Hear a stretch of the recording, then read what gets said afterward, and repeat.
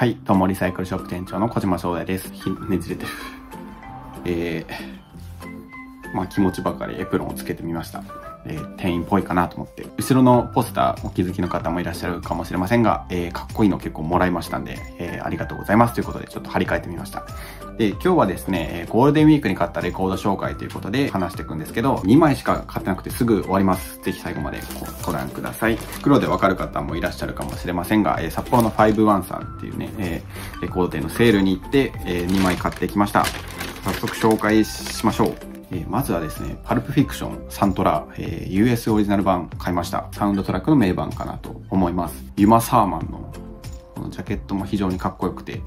スタイリッシュなんですけど、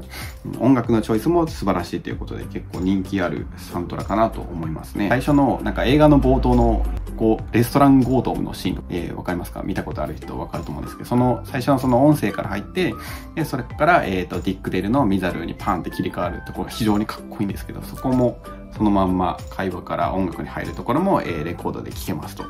いうことで、まあまあ4月頑張りましたぞっていうことで、えー、自分に褒美を兼ねて買ってみました。これもまあ、ちょっと安くしていただいてありがたいことに、まあ、4000円ぐらいで買いましたね。それから、えー、マイルスのファーストです。えっ、ー、と、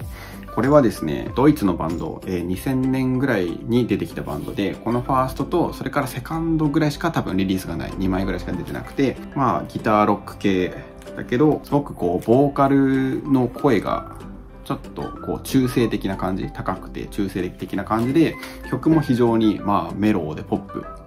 かつかっこよくて、えー、なんて言うんでしょう、まあ、パワーポップ系の雰囲気もありつつという感じですね。これもとっても安かったんで、まあ、レコード版ね、あんまり見ないかなと思いつつ、これも、まあ、ジャケットが入るかっこいいレコードですよね。でも買ってみました。これも1000円ぐらいだったと思います。ちょっと正確な金額忘れちゃいました。でも1000円ぐらいで買えたような気がします。というわけで、うん。これもなんか前行った時もあって、あ、マイルスあるやんと思って、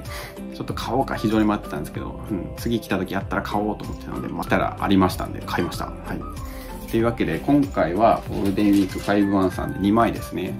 ちょっとジャケットも入るようなスタイリッシュな2枚を今回は買ってきました。